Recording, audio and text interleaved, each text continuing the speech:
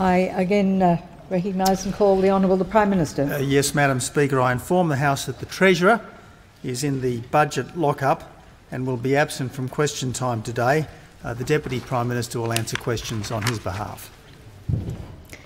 It now being question time, are there any questions? I call the Honourable the Leader of the Opposition. Thank you, Madam Speaker. My questions to the Prime Minister. The Prime Minister promised the Australian people on the night before the last election no cuts to education, no cuts to health, no changes to the pension, no changes to the GST and no cuts to the ABC or the SBS. Will the Prime Minister repeat that promise now? And if not, how can the Australian people trust anything this Prime Minister has to say? I call the Honourable the Prime Minister. Well, Madam Speaker, as uh, everyone in this chamber, as everyone viewing uh, here and around the country knows, that tonight we have a budget. Tonight we have a budget. It is a very, very important budget, uh, which uh, obviously represents the values of this government uh, and the necessity of this government's repairing of the debt and deficit disaster that we were left by members opposite, by the Leader of the Opposition, Mr Shorten, and his colleagues. Now, Madam Speaker, I want to assure members opposite, I want to assure the Labor Party, I want to assure all the people of Australia we will fix the debt and deficit disaster that we were left by the Labor Party. And, Madam Speaker, we will do it, we will do it in ways which are faithful to the commitments that we made pre-election. We will do it in ways which are faithful to the commitments that we made pre-election. And let me remind members opposite, every day during the election campaign I expressed the objectives of this coalition. Should we be a government, we would stop the boats, we would scrap the carbon tax, we would build the roads of the 21st century, and above all else, above all else, above all else, we would bring the budget back under control. That's what this nation needs, and that's what we will deliver. I call the honourable member for Solomon. Thank you, Madam Speaker. My questions to the Prime Minister. How is the government keeping its commitment to get the budget back under control? I call the honourable the Prime Minister. Well, Madam Speaker, I do thank the member for Solomon for her question, uh, and I can assure her and I can assure all members of this parliament that this is a government that will keep its commitments, and the commitments that we endlessly repeated before the election were to stop the boats, to scrap the carbon tax, uh, to build the roads of the 21st century, and to bring the budget back under control. These are the commitments that we made and these are the commitments that we will honour. And, Madam Speaker, isn't it so necessary? Member for Lingiari. Isn't it so necessary that we get the budget back under control? Because, Madam Speaker, what the Labor Party and what members opposite did was left us a legacy of debt and deficit stretching as far as the eye can see. It was intergenerational theft, Madam Speaker. That's what they left us. $123 billion in cumulative budget surpluses, 660 uh, budget deficit, $667 billion in projected debt. This is the debt and deficit disaster that members opposite left us. And Madam Speaker, Madam Speaker, members opposite knew they had a problem. Members opposite knew they had a problem. That's why they went to the election, promising $5 billion of spending cuts. $5 billion of spending cuts that they've walked away from. That they've walked away from. They have walked away from their own scant commitments to budget responsibility. Well, Madam Speaker, Madam Speaker, the people of Australia did not elect us to make easy decisions. They elected us to make the tough decisions. They didn't elect us to be cheapskate populists. They elected us to do what is necessary for our country, and we will, and we will. The, uh, the management of opposition business. Sorry, Madam Speaker, there, there is far too much cheering from those behind the Prime Minister, and it's difficult to hear. The Manager of Opposition Business knows that that is not a point of order. The Prime Minister has the call, and we won't have a repeat performance. Madam Speaker, the people of Australia understand that this country's fiscal position is simply unsustainable. Every month, this country is borrowing $1 billion. That's 1,000 millions of dollars every single month. We're borrowing that just to pay the interest on our debt. We're borrowing to pay the interest on our borrowing, and as every single Australian out there in the real world knows, it is simply unsustainable. It is simply unsustainable. So, Madam Speaker, we will tackle the problem. We will tackle the problem. We will do it in ways which are consistent with our pre-election commitments, and we will do it in ways which set up this great country for the long term. I call the Honourable the Leader of the Opposition. My questions to the Prime Minister. The Prime Minister promised the night before the last election, and I quote, no change to pensions. Will the Prime Minister repeat his promise now? And if not, how can the Australian people trust anything this Prime Minister says? I call the Honourable the Prime Minister. Well, let me say this uh, to the Leader of the Opposition, Madam Speaker. The most compassionate thing we can do for the pensioners of Australia is to make sure that the pension is sustainable. Make sure that the pension is sustainable for the long term. Now, Madam Speaker, Madam Speaker, uh, there will be no changes to pensions without an election first. I call the honourable. I call the honourable member for Flynn. Flynn. Thank you, Madam Speaker. My question is to the Deputy Prime Minister and the Minister for Infrastructure and Regional Development.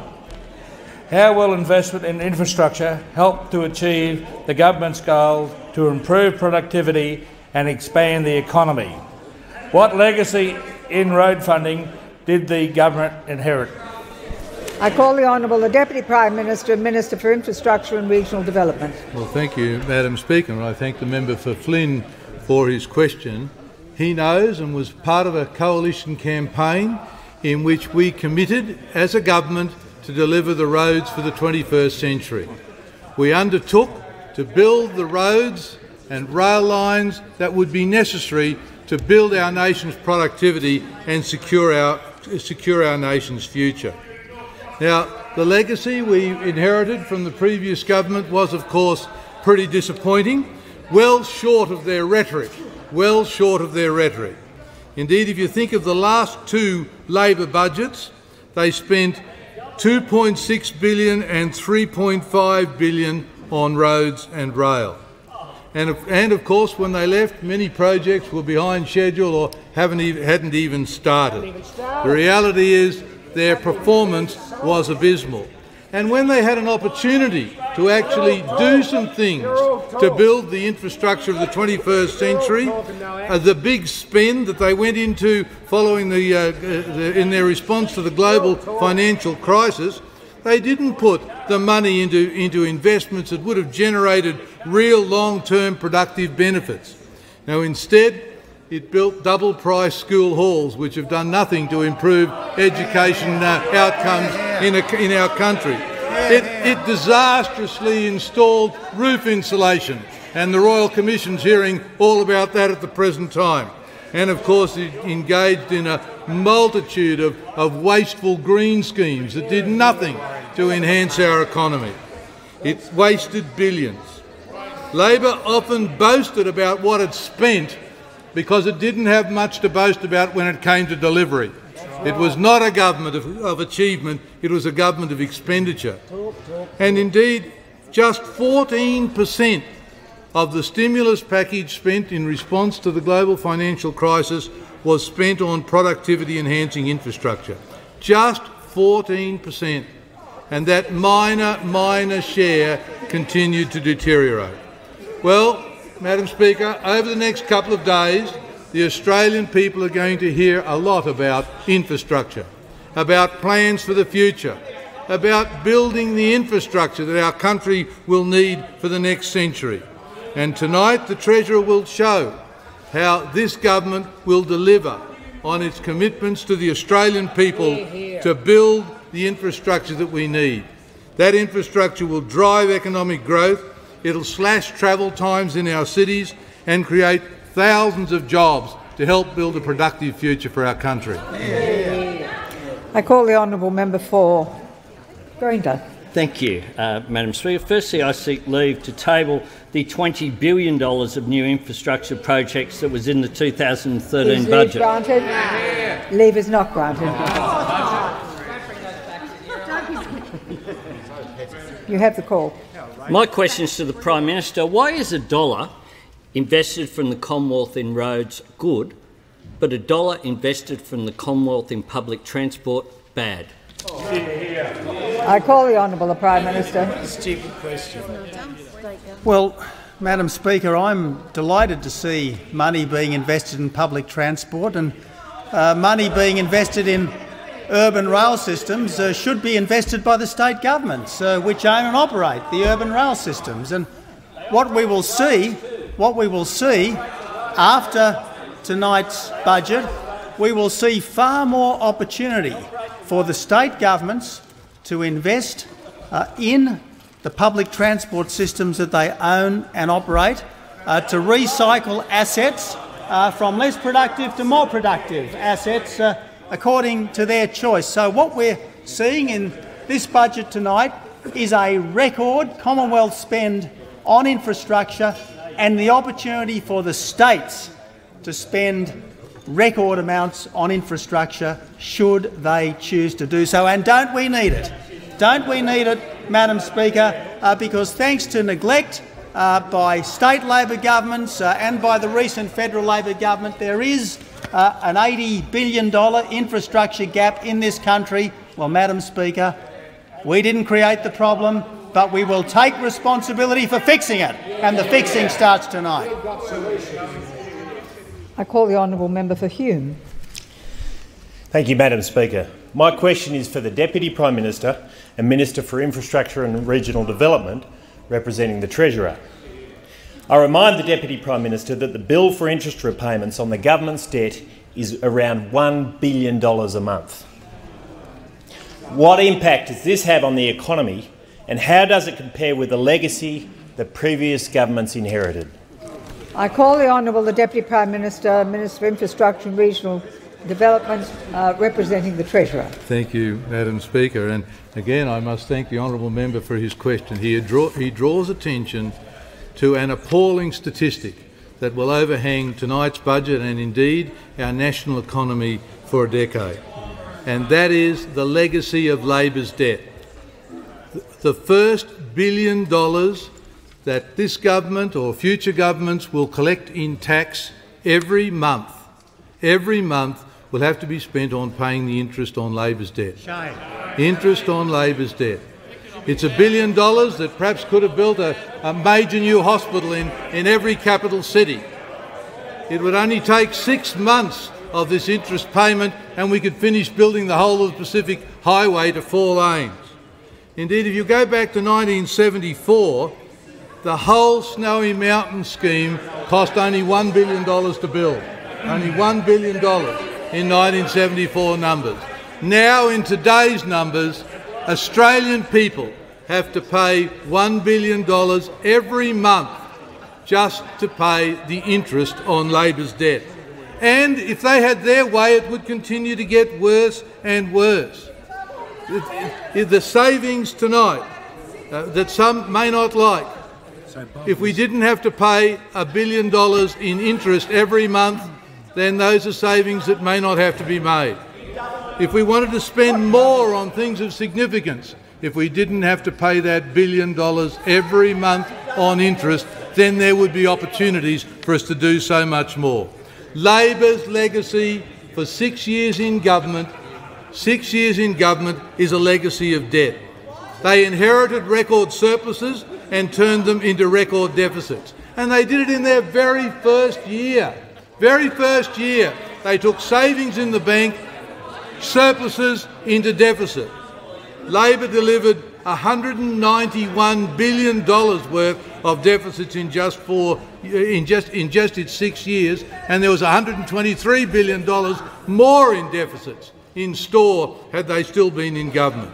Well, our task, our task in government, is to start restoring the national economy so we can get rid of some of that debt, so that we can spend money on the things that Australians want rather than paying the debts of this disgraceful, this disgraceful administration that was cast out of office at the last election. Unless we take action tonight, the gross debt will rise to $667 billion, and that's a debt for every Australian of almost $25,000 per person. What a legacy Labor has left behind. Now it's our turn to have to correct once again the legacy of Labor's debt and deficit and to get our country moving forward once again. I call the Honourable Leader of the Opposition. Uh, my questions to the Prime Minister. The Prime Minister promised the Australian people before the last election, and I quote, we are about reducing taxes, not increasing taxes. We're about getting rid of taxes, not imposing new taxes.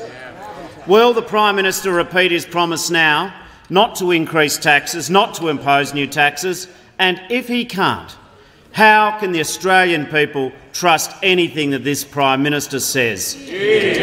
I call the Honourable the Prime Minister. Well, Madam Speaker, yes, uh, I'm certainly happy to repeat we are about getting rid of taxes.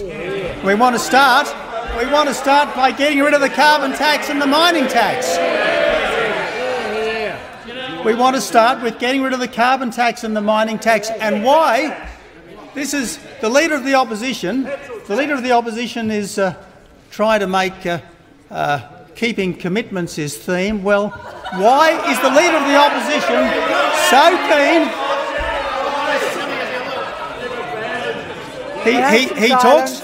He talks. He talks about keeping commitments while his senators prevent the government from keeping the most important commitment of all, the commitment to get rid of the carbon tax.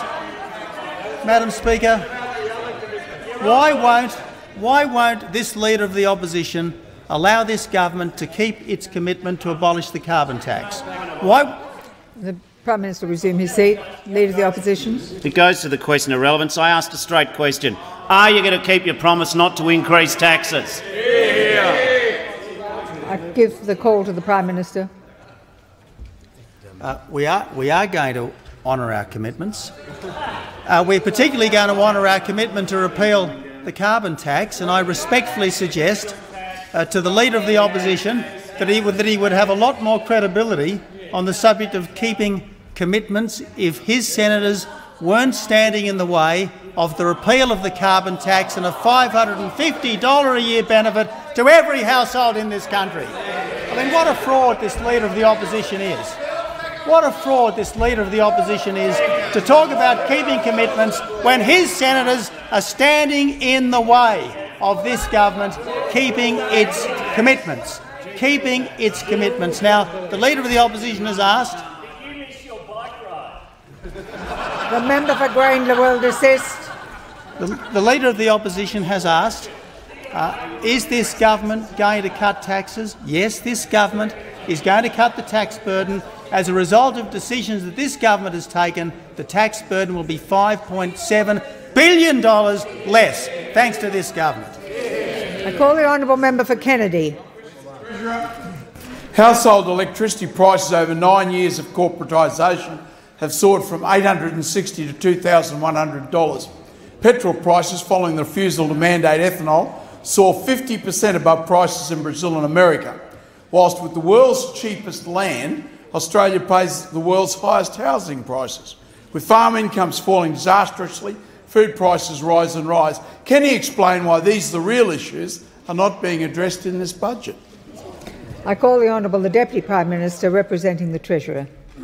Yeah. Well, thank you, Madam Speaker, and I thank the honourable member for Kennedy for his question. And I acknowledge that many of the issues he's raised in his question are important, and they're important to our nation and they'll be important in tonight's budget. And if he can fit it into his busy schedule to actually be present this evening to hear the budget, he will hear a response to each of these particular issues he's raised. The first question was in relation to household electricity prices. Well, in tonight's budget, you may not be surprised to hear, we intend to deliver the end of the carbon tax. Yeah, yeah. The end of the carbon tax means lower electricity prices. It will make a difference to all Australians. And I trust that the member for Kennedy will enjoy the members on this side of the House when it comes to a vote or when it goes to a vote in the Senate uh, to make sure that the majority of the people in the House actually deliver those cheaper electricity promises that we'll be, we, we will be committing to in tonight's budget. He referred also to the role of ethanol in the nation's fuel mix. We have been supportive of the ethanol industry in the past, and the budget tonight will be fair also to the ethanol industry. Uh, we, we, are working very closely to ensure that our economy works efficiently, that we deliver better infrastructure, I might add, including also in the member for Kennedy's electorate, and that will help to make our economy work better and will make, uh, uh, give a better opportunity for our farmers also to be able to get their products to market in the cheapest and most effective way. And then he spoke about the, the, the, the real challenges that farm incomes face. Well, the Minister for Agriculture will be talking tonight about the commitment, the, the fulfilment of our election commitments to the agricultural sector, which will help build a better future for agriculture. And in, and in relation to so many of these issues uh, about farm income, they'll, they'll also be interested in tonight's budget to hear reports of the successful negotiation by the Minister for Trade of new free trade agreements with some of the best markets in the world, the markets that can deliver the best possible returns to Australian farmers. So there'll be good news in tonight's budget as well. There are some tough decisions that have to be made, but, but good news which will deliver real benefits to people who live in regional Australia and to help ensure that our economy grows more strongly in the future. Here, here. I call the honourable member for Macarthur. Yeah. Thank you, Madam Speaker. My question is to the Minister for Education. How is the government working to address poor results for Australian school students and what legacy did the minister inherit when coming to government in September last year? I call the honourable member for. Uh, I call the honourable the minister for education. Thank you, Madam Speaker, and I thank the member for Macarthur for his question. And I can tell him that we are addressing the poor results uh, of Australian school students that we inherited from the previous government. We did it to begin with by putting the $1.2 billion back in to the school funding model that the Leader of the Opposition took out in the dying days of the previous government, so that Western Australia the Northern Territory and Queensland would be treated fairly. So he put $1.2 billion back in to the school funding model, mean that we're actually putting more money into school education than Labor would have if they had been re-elected. We're also moving to address the key issues that affect the outcomes for students parental engagement, teacher quality, uh, a robust curriculum, uh, and more autonomy for principals, because what they indicate the research indicates that they are the most important determinants of good outcomes for our school students, the most important being teacher quality. And I can assure the House that we are listening to the PISA results that were released last December, which show that under Labor, under Labor we recorded our worst ever results in all fields of science and maths and reading, and Australia was ranked lower than it has ever been ranked in school results under the previous government. And what did we inherit? I was asked what we inherited, Madam Speaker. Well, we inherited a litany of wasteful programs. The Computers in Schools program. It was supposed to cost $1 billion.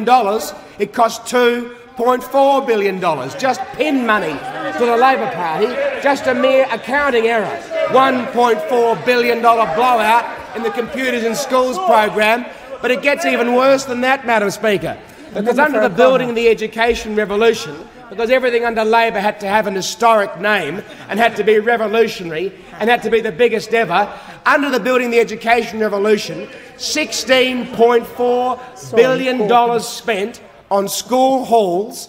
There was no research which indicated that $16.4 billion on school halls would improve the outcomes for our students, and yet the estimate is between six to eight billion dollars of that money was wasted on overpriced school halls. In fact, the University of New England said, and I quote, the BER program basically ticks all the boxes of what not to do, from mismanaging massive amounts of taxpayers' money, delivering or not delivering infrastructure that fails to meet even the most basic tests of quality or usefulness. That is the legacy of the previous government.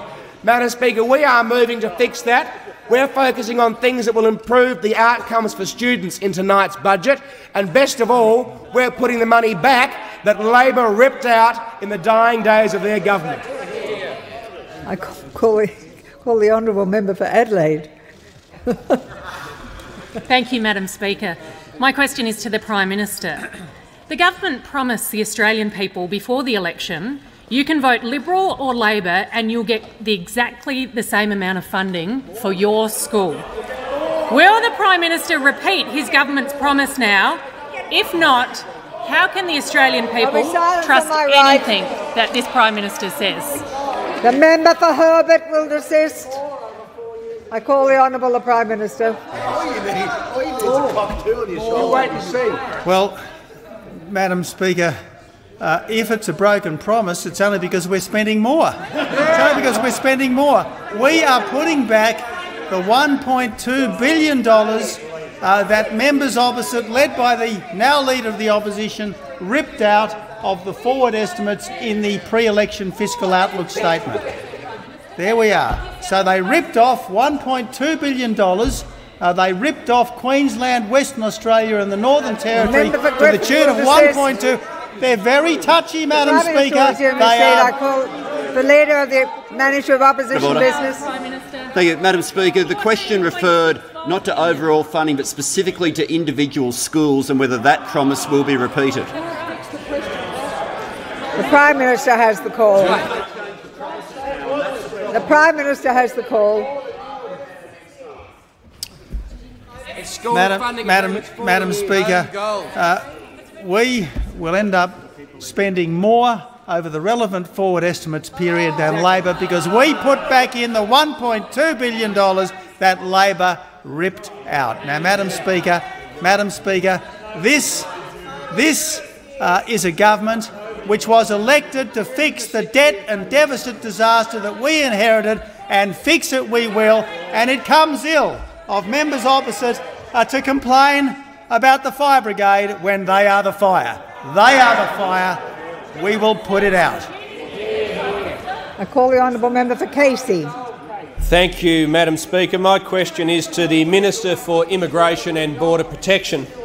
And I ask, what sustained effect has the government's strong border protection policies produced, and what has been the reaction to this result? I call the Honourable the Minister for Immigration and Border Protection. Thank you, Madam Speaker, and I thank the member for Casey for his question. This government is doing what we said we would do on our borders, and we are getting the results, Madam Speaker, that we said we would get.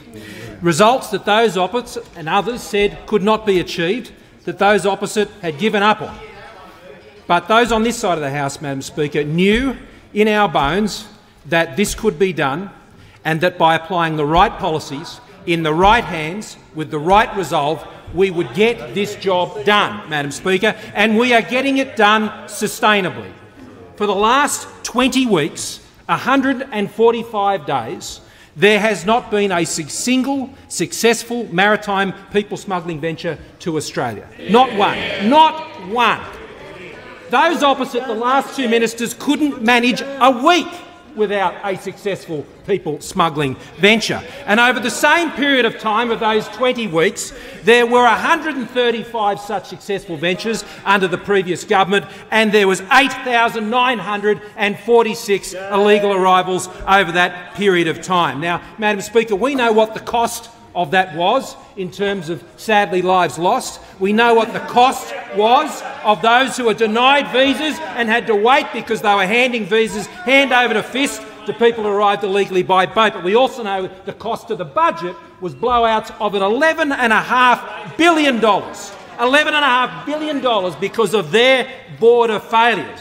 And, Madam Speaker, tonight this budget will save $2.5 billion because of our border protection success to date.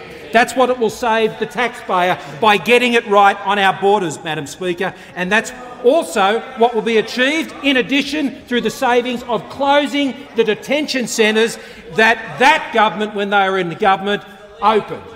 They went on a building the detention centre revolution, Madam Speaker, when they were in government, and it was fuelled by their border failures. And they opened them week after week, bed after bed, centre after centre. Well, we're closing them, Madam Speaker, and we're closing those centres, whether it's in Inverbrackie or whether it's up in Darwin or whether it's in Curtin, Madam Speaker. The Curtin Centre that they opened, they said they'd never expanded and expanded to record levels. Madam Speaker, I can understand why those opposite are embarrassed by their border failures and dare not speak about them. What I can't understand, Madam Speaker, is why they hold on to them so tightly. Why do they hold on to the policies that failed under their government and continue to reject the policies that are working under this government? I've got a message for them, Madam Speaker. It comes from Disney and that latest movie on Frozen. They're frozen in their time, Madam Speaker, and it's simply this let it go, Bill. Let it go. Let it go. You failed in those policies. It's time to let those policies go. I call the Honourable the Deputy Leader of the Opposition. Elsa did it better. she was the one who since you have the call. My question is to the Prime Minister. The Prime Minister promised the Australian people before the election, and I quote, What you'll get under us are tax cuts without new taxes. Will the Prime Minister repeat his promise now? And if not, how can the Australian people trust this Prime Minister uh, on anything he says? I call the Honourable the Prime Minister. Well, Madam Speaker, um, people will see in the budget tonight that this is a government which has kept its commitments. This is a government which has kept its commitments. That's what people will see in the budget tonight. And I have to say, Madam Speaker, that the most fundamental commitment of all was to get the budget back under control, to end the debt and deficit disaster that members opposite left us. And, Madam Speaker, it comes ill of members opposite to keep talking about commitments when, Madam Speaker, they are trying to stop us keeping the most fundamental commitment of all, the commitment to abolish the carbon tax and save the families of this country $550 every single year. If you take commitments, I, I say to the I say to the leader of the opposition, if he takes commitments seriously, what about allowing us to honour our commitment to end the carbon tax and to do the right thing by the people of Australia?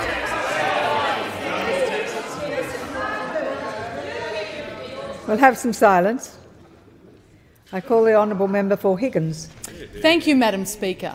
My question is for the Minister for Health. I refer the Minister to the West Melbourne GP Super Clinic, which was promised almost four years ago. Will the Minister please provide an update to the House on the progress of this clinic? I call the Honourable Minister for Health. Hmm. Oh, there'll be silence on my right. Minister for Health has the call. Thank you very much, uh, Madam Speaker, and I thank the honourable member for her question and her interest uh, in health matters and providing uh, important health services to her electorate. Well, there's been an important development in the GP Superclinic program. I want to update the House and the Australian people on what is a very significant outcome in the GP Superclinic program, but I want to come to that in just a moment, Madam Speaker. This is a program which, along with the creation of 12 great big new bureaucracies in health, that will be hanging around the necks of the Labor Party for a generation to come.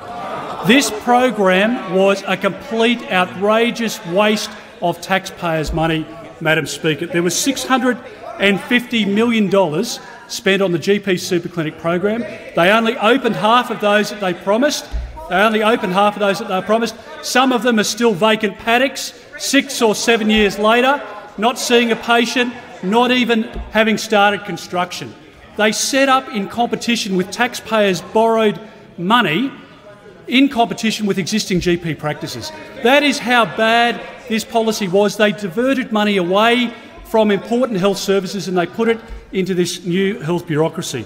But let me come back to the major development because during the break, Madam Speaker, the Leader of the Opposition was with the Shadow Health Minister and they were at the West Melbourne GP Super Clinic, which, which uh, opened four years after it was promised, so in itself not a bad achievement.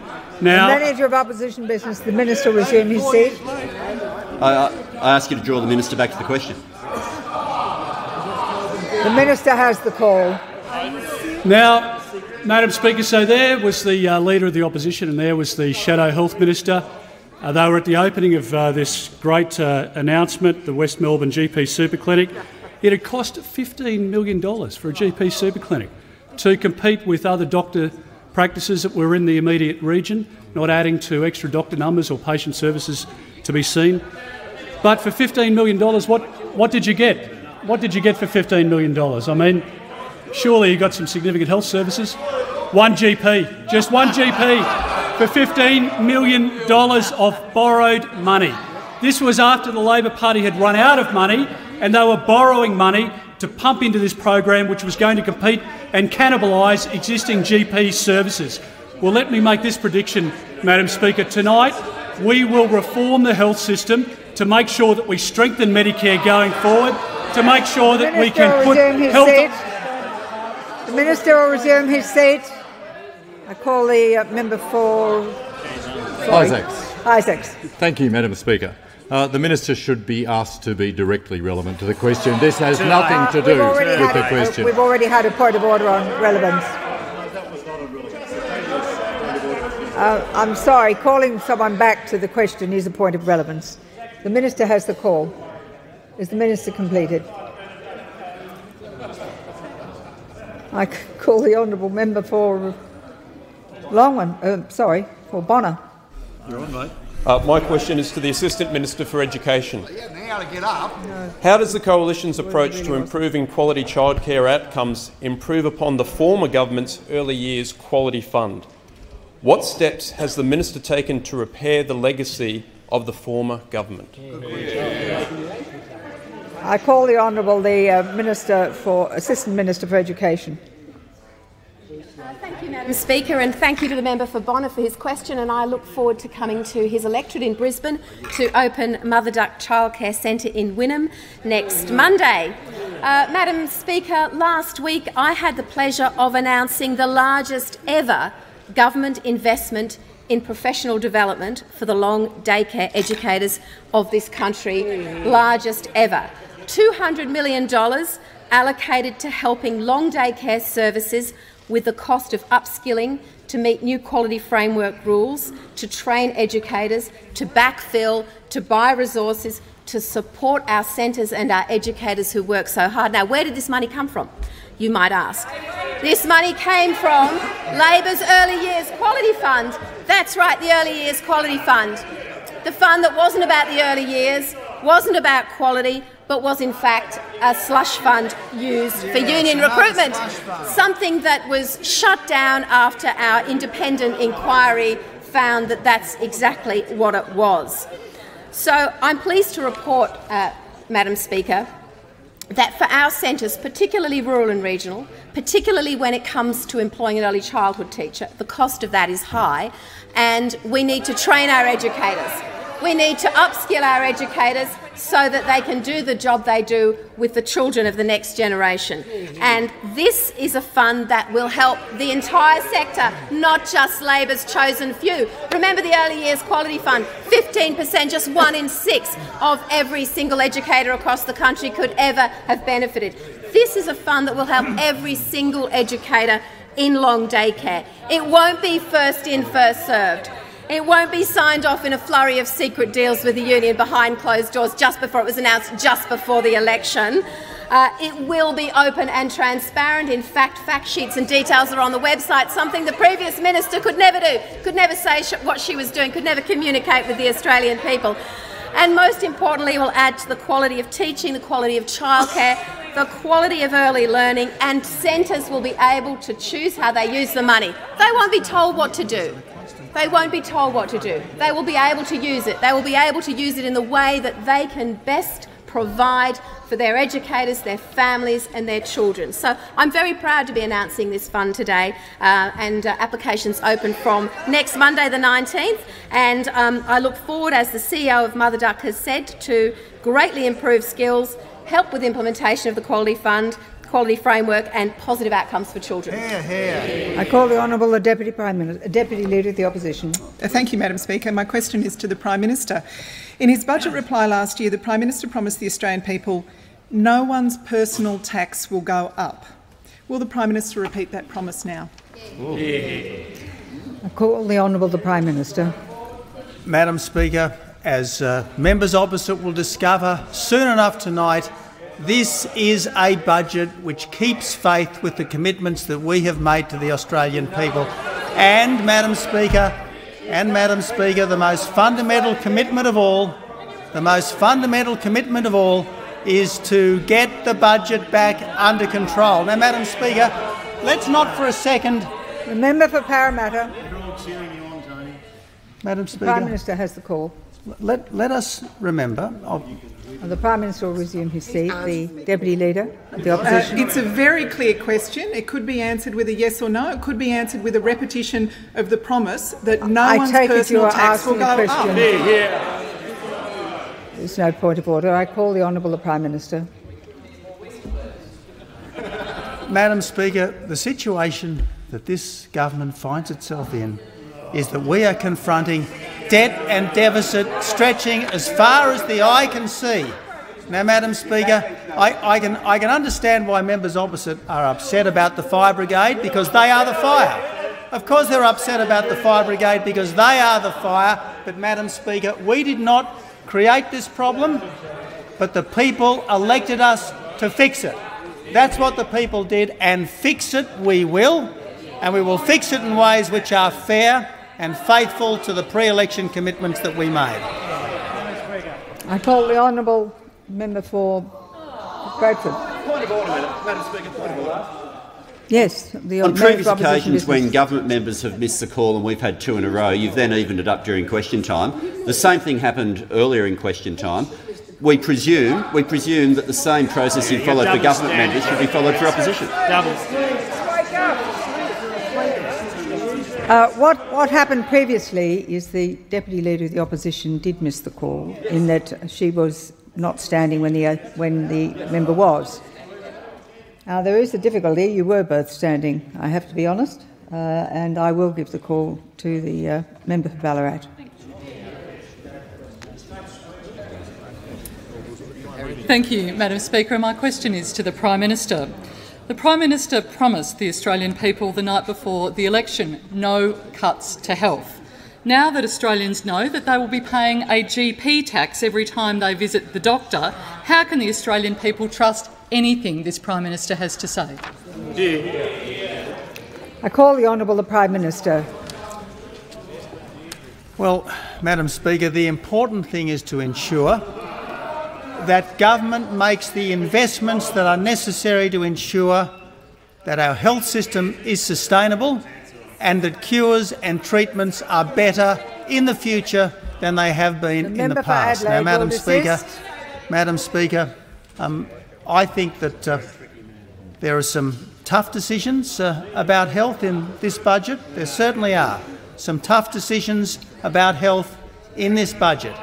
But what this budget does include is massive investment in better health for all Australians and for people around the world in the years and the decades to come. Uh, and, and, and if the shadow minister, and if the shadow minister uh, uh, is looking in, is looking for uh, good sense when it comes to health policy, uh, she ought to talk to the shadow assistant treasurer, who certainly did uh, make good sense on this issue in times past. Indeed, the member for Gorton will withdraw his comment earlier as unparliamentary.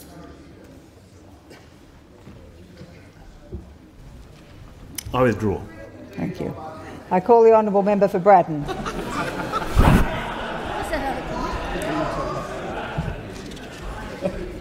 Well, thank you, Madam Speaker. My question is to the Minister for Communications. I refer the minister to the recent State of the Internet report that shows the Australian broadband is slow and expensive. What is the government doing to turn around the results of the former government's management of the NBN? I call the Honourable Minister for Communications. Here, here. Thank you, Madam Speaker. I thank the honourable member for his question and note that in his state of Tasmania, the Labor Party's utter catastrophic mismanagement of the NBN had reached such a point that months before the election, construction had completely ceased. Nothing was happening at all. Indeed, Madam Speaker, $7 billion was spent as at the time of the election and the project was less than 3% complete. Ah. The reason why so many Australians have such inadequate broadband is because nothing was done by Labor other than to spend $7 billion and connect a handful of people in six years. Six wasted years which should have seen real action, real progress, people being upgraded to competitive speeds, and nothing happened while Labor talked about broadband. This was the most wasteful project of the Labor Party and government. Now, this is what we're doing, Madam Speaker. We're getting this project back on track. Already, twice as many Australians, more than twice as many Australians, are actively connected to the fibre network today than were at the election. The rollout is accelerating. We have got The the, project back on track in Tasmania. The member for Perth. As far as affordability is concerned, and this is a vital issue, a vital issue, because the, our broadband in Australia is expensive relative to other countries. The honourable member's point is absolutely right. But Labor, if Labor had been allowed to continue the project on their plans, Australians would have had to pay up to 80% more of the already high prices in order to pay for what would have been a $73 billion project, $30 billion more than they told Australians it would cost. Now, we will complete this project sooner The member for and at considerably less cost. Considerably less cost, $32 billion less, and sooner. And the mix of technologies we will use are consistent with the approach being taken by major telcos, Deutsche Telekom, British Telecom, AT&T, Swisscom, Belgacom. The NBN today is being run for the first time by competent telecom professionals, a board with experienced people, a chief executive who has actually built and run telecom networks, and it's being managed for the first time in a business-like fashion. We cannot recover all of the years lost by Labor or many of the billions lost by Labor, but we are cleaning up the NBN mess as we are cleaning up the rest of Labor's mess. I call the Honourable the Leader of the Opposition.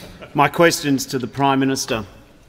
The Prime Minister told the Australian people before the election it just isn't right that people should say one thing before an election to win votes and do the opposite after an election.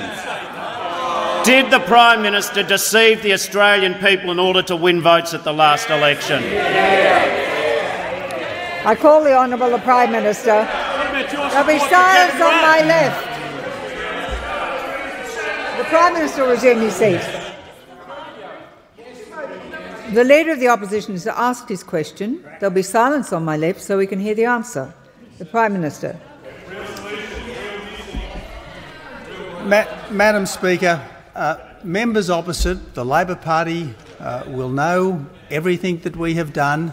Uh, they will know all of the measures that we have taken to address the debt and deficit disaster that the Labor Party has left to this great nation of ours.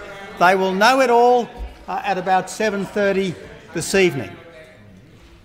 The Australian people will be able to make a judgment of us and the actions that we have taken. There'll be silence. And the actions that we have taken to address the debt and deficit disaster that Labor has left us. But, Madam Speaker, the Australian people know this that no government can go on borrowing $1 billion every single month just to pay the interest on the borrowings.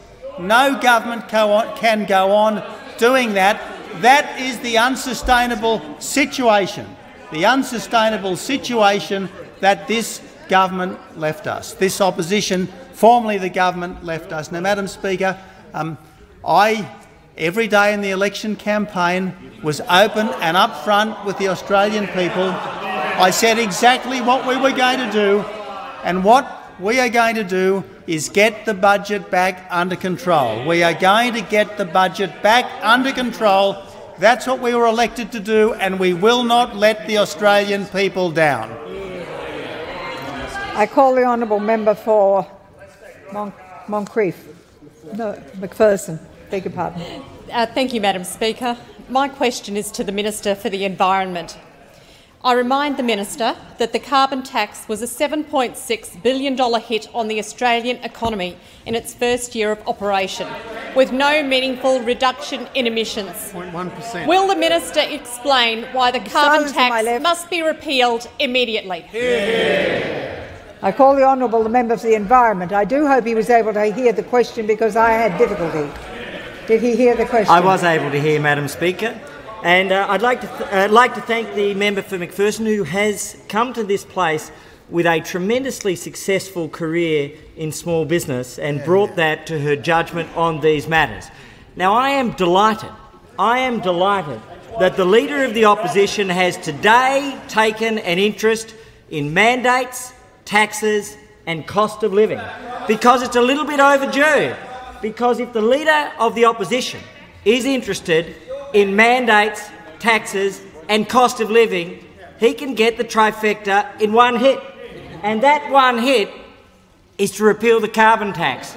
You can repeal the carbon tax. We have all of this confected indignation today that I am terribly concerned, says the Leader of the Opposition, about cost of living. And I am terribly concerned about taxes. And I am terribly concerned about mandates except when it comes to the carbon desist. tax. Except for the carbon tax. So there is a way forward for the Leader of the Opposition. If he has any semblance of commitment to any of the concepts which he suddenly discovered today, he can chat to his senators. Instead, what is happening at the moment is that he is telling his senators to stand in the way of a $7.6 billion 500 The member, the, the minister will resume his seat. The member for Grayndler on a point of order. the member for Grayndler has the call. Thank you, Madam Speaker.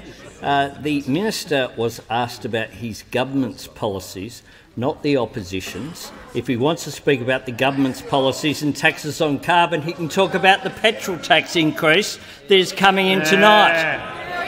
There is no point of order. The uh, minister has the call. Our policy is to abolish the carbon tax. Yours is to keep it. And that is a pretty significant difference. We have from here the confected indignation of Mr Mandate. Now he is telling us that keeping mandates is so important well, if it means anything, start with the central point on which this government was elected and allow us to abolish the carbon tax because this tax, as the member for McPherson sets out, is a $7.6 billion hit on Australian industries and Australian families. If you worry about families, worry about the $550 which you yourself, which the Leader of the Opposition could, could relieve them of each and every year going forward. Right now, There's speak to your senators and we'll bring back the carbon tax bills this week if you want to give us the passage to repeal them. Because our policy, our policy is to repeal the carbon tax. Your policy is to break your election commitment to terminate the carbon tax, and your policy is to stand in the way of our mandate to abolish the carbon tax. So we can save. Australian firms $7.6 billion. We can save Australian families $550 a year. We can reduce the cost of living. We can improve Australian competitiveness. And all we need is for the Leader of the Opposition to give the word. I call the Honourable the Leader of the Opposition. My question is to the Prime Minister. The Prime Minister told the Australian people before the election, I will keep my commitments. We will do exactly what we say we will do. I ask again, did the Prime Minister deceive the Australian people at the last election in order to get their votes? I call the Honourable the Prime Minister. Well, the short answer is no, of course we didn't, Madam Speaker. Of course we didn't. Of course we didn't. Madam Speaker, we told the Australian people that we would tackle, we would tackle the debt and deficit disaster, the debt and deficit disaster which the Labor Party created, which the leader The of the opposition, uh, the kingmaker desist. and queenmaker and manipulator of the former for government Adelaide created. The Prime Minister That's, has the call. that's what we said, Madam Speaker. That's what we said, Madam Speaker. We told the the Australian Leader of people. the Opposition will desist. We told the Australian people that we will tackle the debt and deficit disaster that the Labor Party had left this country, that we would tackle the intergenerational theft that the Labor Party had practiced on the people of this country. That's what we said we would tackle. And, Madam Speaker, we are up for it. We are up for it. We weren't elected to make easy decisions. We were elected to make tough decisions. There's too much we noise weren't on my elected left. to be populist.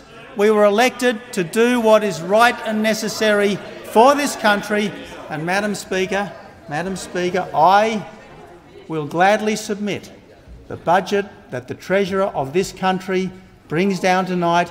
I will gladly, gladly submit that to the judgment of the people of Australia, because the people of Australia will know, the people of Australia will know that this is a government which is up for the challenges of this day. This is a government which is prepared to confront the big decisions that this government faces.